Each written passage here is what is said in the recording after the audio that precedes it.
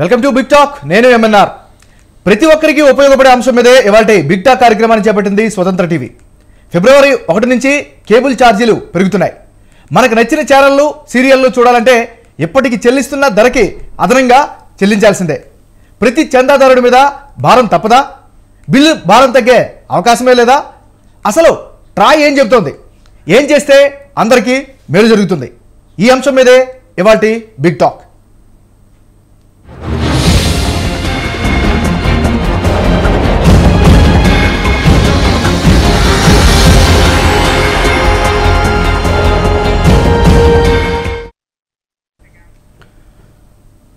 వినోదం సమాచారం ఇంటింటికి టీవీల ద్వారా అందుతున్నాయంటే అందుకు ప్రధాన కారణం కేబుల్ ఛానల్స్. కొన్ని డిటిహెచ్ సంస్థల ద్వారా కూడా అందుతున్న మూడొంతుల వాటా కేబుల్ ద్వారానే అందుతున్నాయి. మనకు అందుబాటులో ఉండే కేబుల్ ఆపరేటర్ ఏ సమస్య వచ్చినా వెంటనే పరిష్కరిస్తాడు. కేబుల్ టీవీ డిజిటైజేషన్ తర్వాత జరిగి సెటప్ బాక్స్లో వచ్చిన తర్వాత పే ఛానల్ యజమానులదే పైచేయింది ఎంఎస్వేలు ఈ పే ఛానల్స్ నుంచి కొనుక్కున్న ప్రసారాలు ఆపరేటర్ల ద్వారా ఇంటింటికి పంచుతున్నారు. అయితే ఇప్పుడు డిజిటైజేషన్ పెరిగిన బిల్లు ఇప్పుడు మళ్ళీ పెరిగింది. ఈ ఫిబ్రవరి నుంచి సగటున ఒక్కో కనెక్షన్కు యాభై రూపాయల వరకు పెరుగుతుందని అంచనా.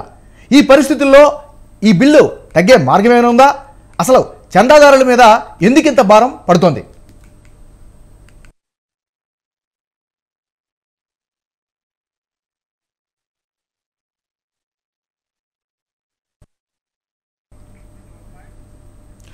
సో ప్రతి ఒక్కరికి కూడా ఉదయం లేచి నుంచి రాత్రి పడుకున్నంత వరకు కూడా అయితే వినోదమో విజ్ఞానమో లేకపోతే వార్తల సమాచారమో ప్రతి ఇంటికి కూడా అందించేటటువంటి వ్యవస్థ కేబుల్ ఆపరేటర్ల వ్యవస్థ. ఒక రకంగా చెప్పాలంటే ఇది వెరీ ఎఫెక్టివ్ అండ్ చాలా ఎక్కువగా ఉన్నటువంటి నెట్వర్క్. కానీ ఇలాంటి పరిస్థితుల్లో ఈ ఇండస్ట్రీ మీద ఉన్నటువంటి సవాళ్ళు ఏంటి ఎలాంటి సవాళ్ళను ఎదుర్కొంటుంది? సామాన్యుల మీద భారం పడడం గల కారణాలు ఏంటి ఈ అంశంపైనే ఇవాళ చర్చ ఇవాళ చర్చలో పాల్గొనేందుకు మనతో పాటు స్టూడియోలో ఉన్నారు సుభాష్ రెడ్డి గారు టీఎంఎస్ఓస్ ప్రెసిడెంట్ అదేవిధంగా పమ్మి సురేష్ గారు తెలంగాణ మల్టీ సర్వీసెస్ కేబుల్ ఆపరేటర్ల సంక్షేమ సంఘం ప్రెసిడెంట్. ముందుగా మీ ఇరువురికి కూడా స్వాగతం పలుకుతున్నాం. మరి కాసేపట్లో మరికొంతమంది ఈ చర్చలో జాయిన్ అవుతారు. ముందుగా ఇవాటి చర్చని సుభాష్ రెడ్డి గారి ద్వారా ప్రారంభిద్దాం. సుభాష్ రెడ్డి గారు చెప్పండి.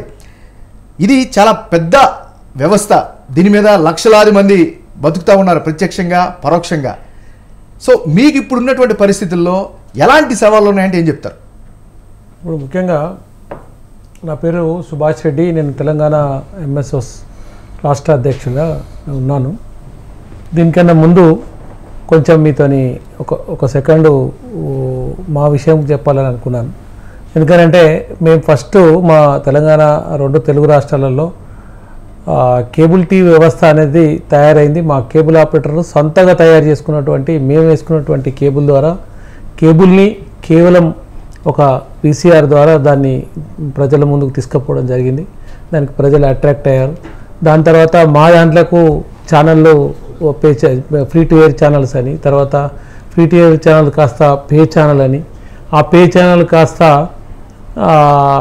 వివిధ రకాలుగా మారుతూ అది ఒక ఎంఎస్ఓ ఎంఎస్ఓ రూపకంగా మేమే మళ్ళీ రూపకల్పన చేసుకొని ఒక మల్టీ కార్పొరేట్ మా మల్టీ ఎంఎస్ఓ లాగా మేమే రూపకల్పన చేసుకొని దాన్ని కేబుల్ ఆపరేటర్ ద్వారా కేబుల్ కస్టమర్కు అతి తక్కువ రేటుకు మేము గత ముప్పై సంవత్సరాల నుంచి మేము ప్రసారాలు అందించగలిగినాం.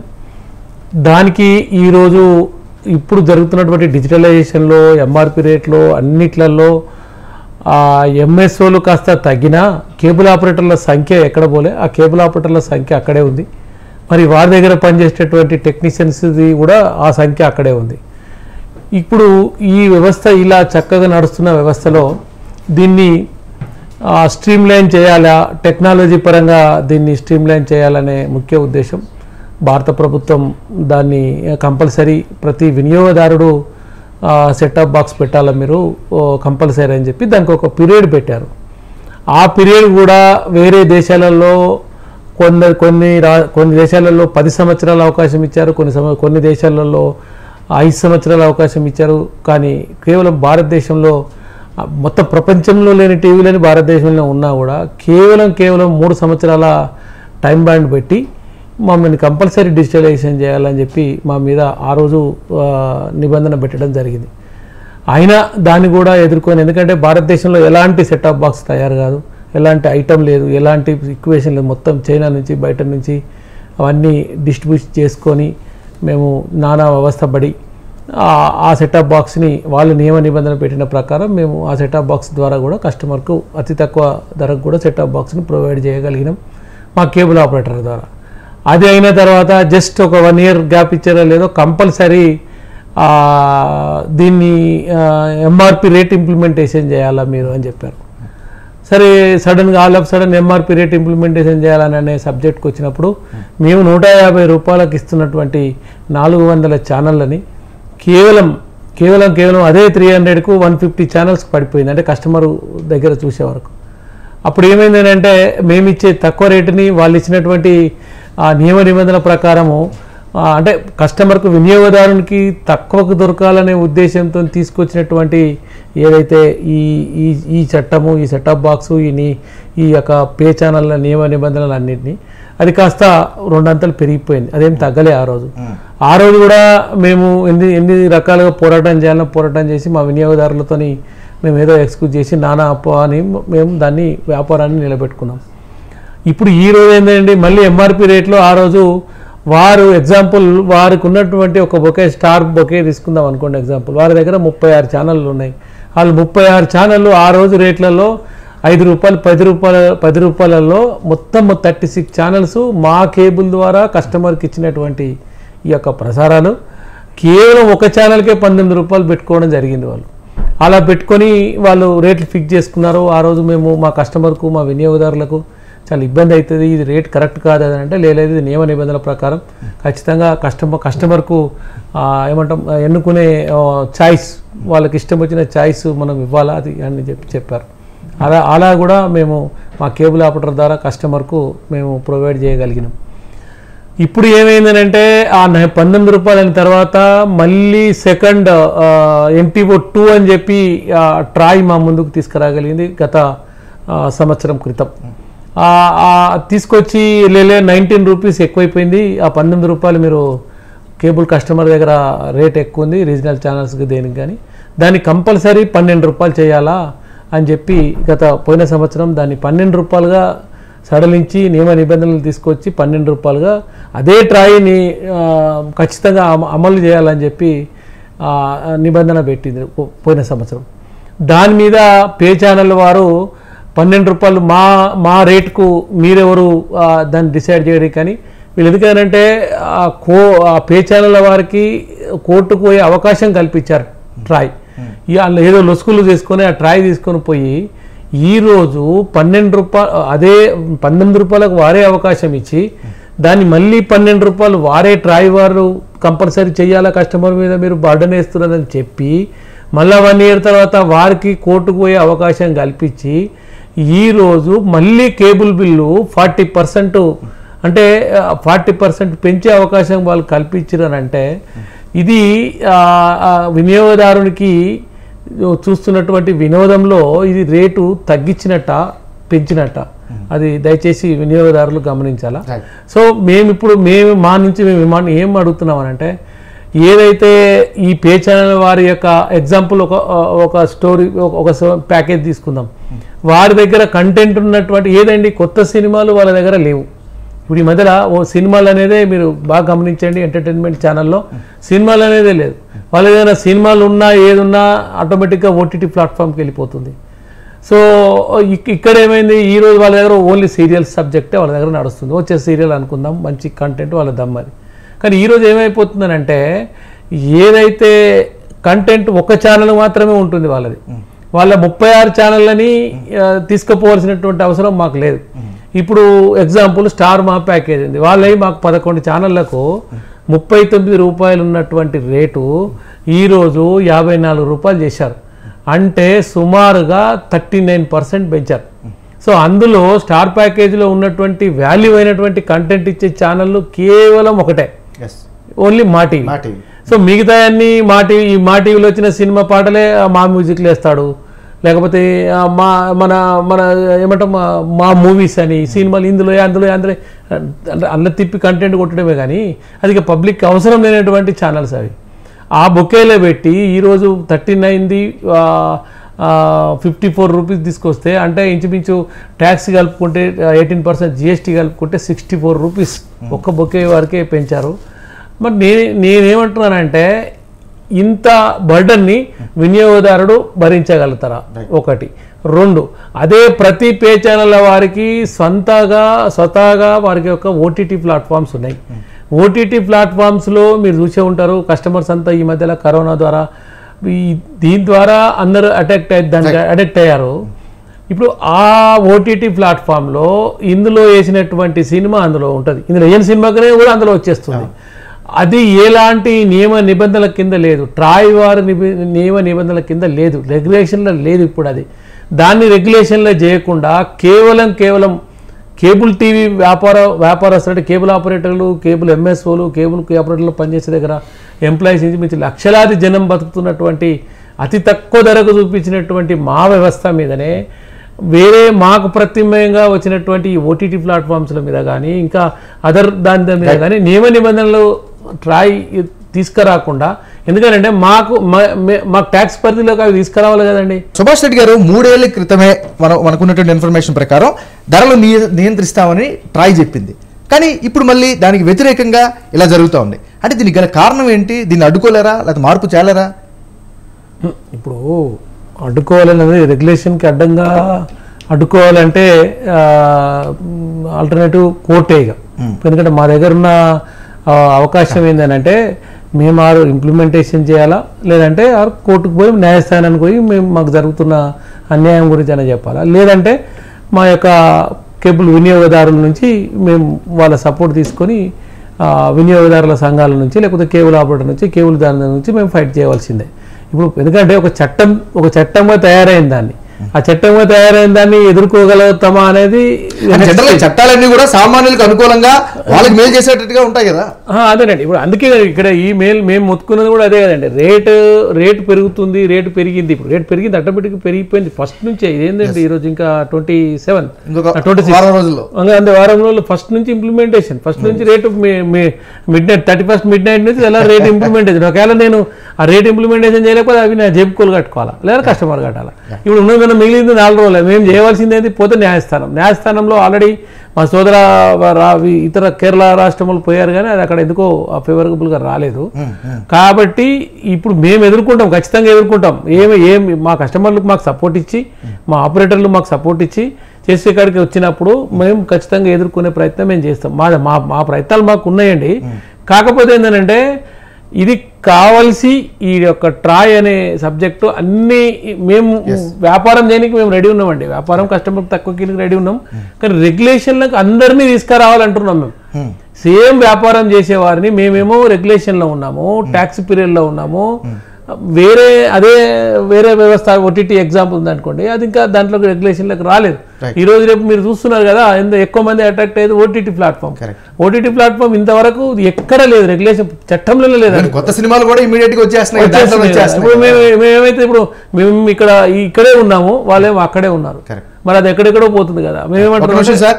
సుభాష్ రెడ్డి గారు ట్యాక్సేషన్ కోసం అంటే ఈ ఈ మార్పులు అంటే ఈ వైవిధ్యమైనటువంటి ట్యాక్స్ల వల్ల కూడా మీ మీద పెనుభారం పడుతుంది. అది డైరెక్ట్గా గా మళ్ళీ వీక్షకుడి మీద పడుతుంది. దీనిపైన ఎలాంటి మార్పులు వస్తే బాగుంటాయని మీ సలహా మరి? ఇప్పుడు ట్యాక్స్ని ఎయిటీన్ పర్సెంట్కి వెళ్ళి సామాన్యులు చూస్తున్నటువంటి టీవీ కాబట్టి దాని ఉన్నటువంటి జిఎస్టీ స్లాబ్ రేట్లో అది ఏ ఏ ఫైవ్ పర్సెంట్ స్టేజ్లోకి తీసుకొస్తే ఎందుకనంటే ఫస్ట్ ఒక వినియోగదారులకి అవసరం తక్కువ తగ్గుతుంది బిల్లు తగ్గుతుంది. ప్లస్ ఇంకోటి అంటే కేబుల్ ఆపరేటర్లు కేబుల్ ఆపరేటర్ దగ్గర పనిచేసిన వాళ్ళు కూడా జీవనోపాధి వస్తుంది. సో ట్యాక్స్ విషయం సెంట్రల్ గవర్నమెంట్ పరిధిలో ఉన్నటువంటి ట్యాక్స్ కాబట్టి సరే తీసుకొస్తే బాగుంటుంది అనేది ఒక సుభాష్ రెడ్డి గారు ఈరోజు చర్చలో ప్రధాన ఉద్దేశం ఏంటంటే అన్ని రకాలు ఉన్నటువంటి అవకాశాల పైన కాబట్టి చర్చ కాబట్టి ఈ ట్యాక్స్ గురించి కూడా మనం మాట్లాడుకుంటున్నాం అంతే అంతేగాని ఇప్పుడు ట్యాక్స్ అనే అంశం ఓకే. గవర్నమెంట్కి తీసుకెళ్తున్నారు మేము మేము వినియోగదారులను తీసుకుంటున్నాం మేము గవర్నమెంట్కి పే చేస్తున్నాం. అది ఒక ముఖ్యంగా ఈ పే ఛానళ్ళ వారి సబ్జెక్టు రేట్ అనే సబ్జెక్ట్ మీదనే ఇప్పుడు రేట్ పెరిగిందంటే ఆటోమేటిక్గా ట్యాక్స్ పెరిగినట్టు. కరెక్ట్. ఇప్పుడు sixty four fifty four thirty nine fifty four చేసిందంటే ఆ పెరిగినటువంటి డిస్టెన్స్లో ఎయిటీన్ పర్సెంట్ ట్యాక్స్ రేటు పెరుగుతుంది ట్యాక్స్ పెరుగుతుంది. అంతే అదే ఫైవ్ పర్సెంట్ ఉంది అనుకో ఇంకో రూపాయి రెండు రూపాయలు ఇంకొంచెం తక్కువ పడుతుంది. నాకు తెలిసి దాన్ని మేము ఆ రోజు కూడా ట్యాక్సీని లో లో స్లాబ్లోకి తీసుకురావాలని చెప్పి కూడా చాలాసార్లు మేము సెంట్రల్ మినిస్టర్ కూడా కలిసి మెమోరాండం ఇవ్వడం కలిగింది. కానీ అది అందుబాటులో రాలేదు అది కానీ తగ్గిస్తే బాగుంటుంది అనేది నా ఒపీనియన్. ఫైవ్ పర్సెంట్ దాంట్లో తీసుకొస్తే బాగుంటుంది అనేది నా ఒపీనియన్. సుభాష్ రెడ్డి గారు సరే ఇందాకలా మాట్లాడుతూ చాలా వ్యాలిడ్ అయినటువంటి పాయింట్ అంటే జనరల్గా మాట్లాడదాం. అంటే ఈ డిస్కషన్ వాటన్నిటికీ దూరంగా అందరూ గ్రామీణ ప్రాంతాల నుంచి వచ్చిన వచ్చినటువంటి వాళ్ళం కాబట్టి ఒక యాభై రూపాయలు మీకు కట్టాలంటేనే ఒక పది ఇరవై తగ్గించి గ్రామీణ ప్రాంతాల్లో ఇస్తూ ఉంటారు. ఇన్ జనరల్గా నాకు తెలిసినంత వరకు తర్వాత ఇస్తాలే అబ్బా నెక్స్ట్ ఇచ్చినప్పుడు ఇస్తానని జనరల్గా చెప్తా ఉంటారు. అలాంటిది అంటే అంత కామన్గా తీసుకునేటటువంటి గ్రామీణ ప్రాంత వాసులకి లేదా ప్రజలకి ఇంత కాన్ఫ్లిక్ట్గా ఉండేటటువంటి వ్యవహారాల్ని అర్థం చేయడంలో మీరు ఎలాంటి స్టెప్స్ తీసుకోబోతున్నారు? ఎలాంటి స్టెప్స్ తీసుకుంటే అందరికీ మేలు జరుగుతుంది? అంటే ఇప్పుడు ఈ ఏదైతే ఈ రేటు పెంచిన దాని గురించి విషయమే కదండి. ఈ విషయాన్ని సాధ్యమైనంత వరకు ఎలక్ట్రానిక్ మీడియా ద్వారా మా దగ్గర ఉన్నటువంటి ప్రతి కస్టమర్ వైజ్ మాకు ఎస్ఎంఎస్ సిస్టమ్ ఉంటుంది. కమ్యూనికేషన్ సిస్టమ్ ఉంది. దాని ద్వారా మేము తీసుకెళ్ళగలుగుతామేమో కానీ ఇప్పుడు ఇంతెందుకు కమ్యూనికేషన్ వ్యవస్థ ఏదైతే ఇప్పుడు రేట్ పెంచుకునే ఛానల్ వాళ్ళు ఏదైతే పే ఛానల్ వాళ్ళు ఉన్నారో ఆ రేట్ పెంచుకునే వాళ్ళ వాళ్ళ రేట్ ఒక ఎక్స్వైజ్ రేట్ నుంచి ఒక రేట్ పెరుగుతుంది అన్నప్పుడు వాళ్ళ ఛానల్లో స్లైట్ వేసి అడ్వర్టైజ్ చేయొచ్చు కదండి. ఎగ్జాంపుల్ ఇప్పుడు వాళ్ళే పెంచు వాళ్ళు వాళ్ళ ప్రొడక్ట్ని వాళ్ళే పెంచుకుంటున్నారండి. కానీ వాళ్ళు ఆర్ ఈవెన్ స్కోలింగ్ అని ఇవ్వండి మీరు పెరుగుతున్న విషయం తెలుస్తుంది అని అంటే వాళ్ళు మాకు సహకరిస్తలేరు. అది మేము ఇవ్వలే ఇవ్వలేమండి అది. కాకపోతే మేము మా పరిస్థితి తీసుకుంటున్నారు. కాబట్టి మేము ఖచ్చితంగా మా కేబుల్ ఆపరేటర్లు ఉన్నారు. మాకు కేబుల్ ఆపరేటర్ ద్వారా వాళ్ళ దగ్గర పనిచేసే కేబుల్ ఎంప్లాయీస్ ఉంటారు. కస్టమర్ దగ్గరికి డోర్ టు డోర్ కలిసి బ్రోచర్లు తయారు చేసి నోట్ ద్వారా కానీ ఏదేం ద్వారా కానీ సాధ్యమైనంత వరకు మా మోటివేషన్ తీసుకెళ్ళ తప్పదిగా ఖచ్చితంగా ఇంప్లిమెంటేషన్ అన్ని అన్ని కూడా. మేము ఖచ్చితంగా ఇక వాళ్ళ దగ్గరికి తీసుకొని మేము అయ్యా మరి రేట్ ఈ రకంగా ఉంది ఈ రకంగా ఉందని చెప్పి మోటివేషన్ చేసుకోక తప్పది. కాకపోతే ఒకటేంటంటే ఏదైనా కేబుల్ ఆపరేటర్ చేయగలడు. అదేం లేదు. కానీ ఈ రకంగా పెంచడం అనేది దౌర్జన్యం అది దోపిడీ ఇది. ఈ దోపిడీని ఖండించాలంటే మేము కూడా మా దగ్గర ఉందిలేండి. ఇప్పటికైనా కేబుల్ ఆపరేటర్ వ్యవస్థలో ఉన్నటువంటి దాంట్లో మా దగ్గర ఉంది.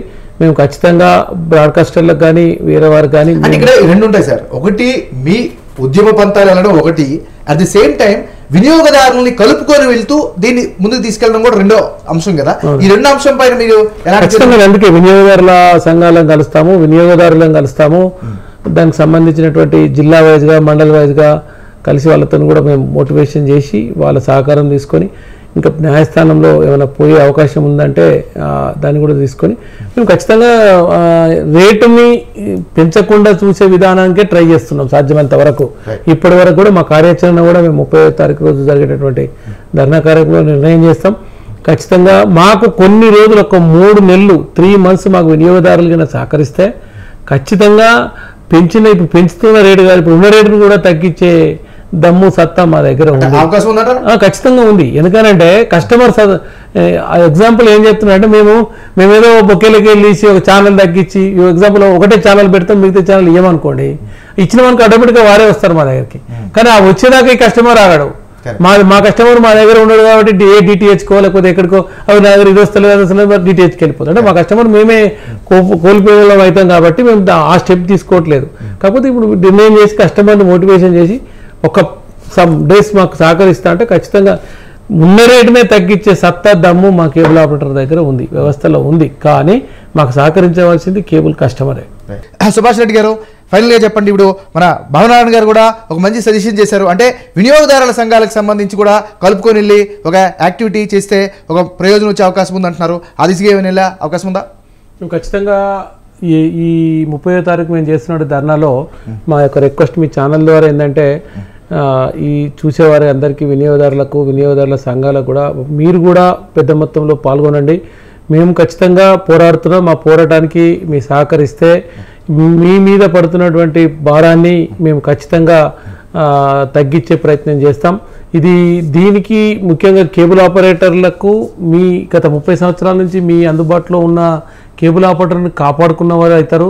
మేము టీవీ ఉన్న రోజులు ఆపరేటర్ ఉంటాడు. మమ్మల్ని కాపాడుకున్న రోజు ఉన్నన్ని రోజులు మీకు తక్కువ రేట్లో టీవీ ఛానళ్ళకి అందుబాటులో తీసుకురాగలుగుతాం కాబట్టి మా పోరాటానికి మీ వినియోగదారులు వినియోగదారుల సంఘాలు అందరూ మాకు పూర్తి సహకరించి ఈ ముప్పై తారీఖు నాడు జరగబోయే మా యొక్క ధర్నా కార్యక్రమంలో పాల్గొని కార్యాచరణ ప్రకటించడంలో మీరు కూడా భాగ్యస్వాములు కావాలని చెప్పి మీ ద్వారా నేను కోరుతున్నాను.